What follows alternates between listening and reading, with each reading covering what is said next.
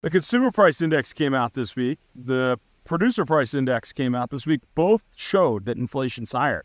Kind of proof that you're not wasting your time watching our videos where we've been saying this for quite a while. And guess what? Inflation's about to get worse. All those folks who are saying that there's going to be quantitative easing, in other words, interest rates cutting in the first quarter of 2024, they're not reading the tea leaves right now. Interest rates aren't going to go down. We need the economy to get a lot worse if you're really wanting interest rates to go down. But remember, that's a double edged sword.